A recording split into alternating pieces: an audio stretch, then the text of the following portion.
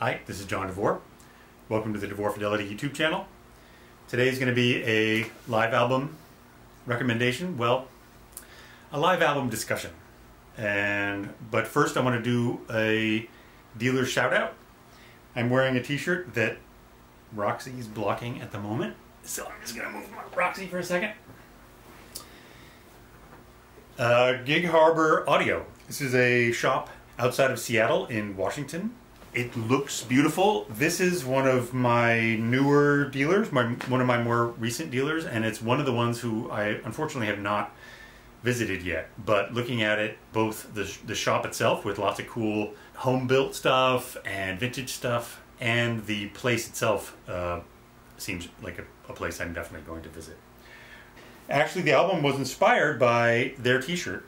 So it is an upside down pentagram, and no, that does not mean that I'm a devil worshipper. And as far as I know, the the nice guys at Gig Harbor Audio are also not devil worshippers.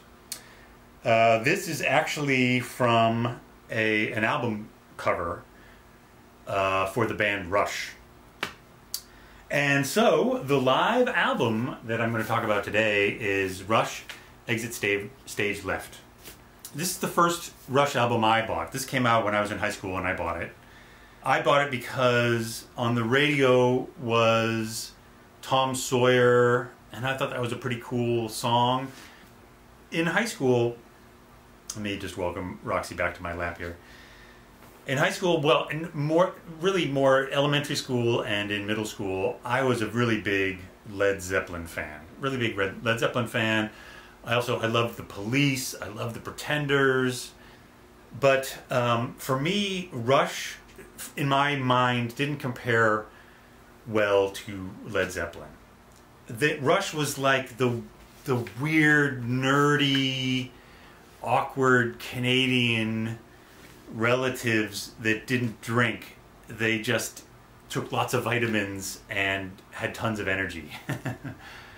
Uh, they were like they were uh, just I didn't really get it. Their their stuff was busy and fancy, and there's there's no question that Neil Peart could fucking play drums, and Geddy Lee, you know, give or take his voice, was a fantastic bass player. I mean, the, you know, they were locked and loaded.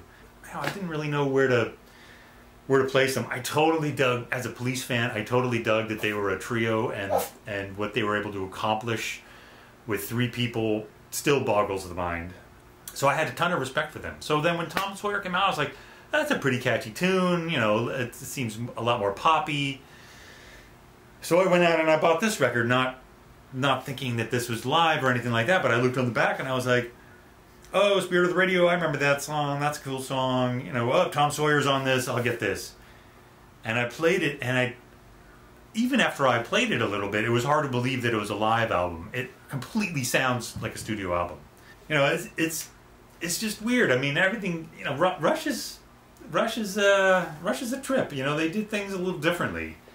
Everything about you know, even the record, like super weird puppet guy here, the big grin, and naked guy here, and like I said, even then, um, there's no question that Neil Peart was a uh, just an absolute monster drummer. I certainly preferred Bonham at the time, and I'd still prefer Bonham. He wasn't playing as many notes, but sometimes there's too many notes. Um, and the you know the solos that Peart would do are phenomenal, but you know you got him doing melodies on cowbells and on tom toms, and it's just it's it's it's a kind of a lot to deal with. Anyway, it is an amazing performance these guys seriously are amazing performers. I now have a lot of Rush records and I love them all, but this is this was my first Rush record and it is a great one. It's not great as a live album. Um, I think also there was a lot of overdubbing on this. Most of Rush is mixed really well. It, it's mixed very bottom heavy. Um, so kick drums and Geddy Lee's bass lines are right up there in the mix. Super fun to listen to it's a little bass heavy.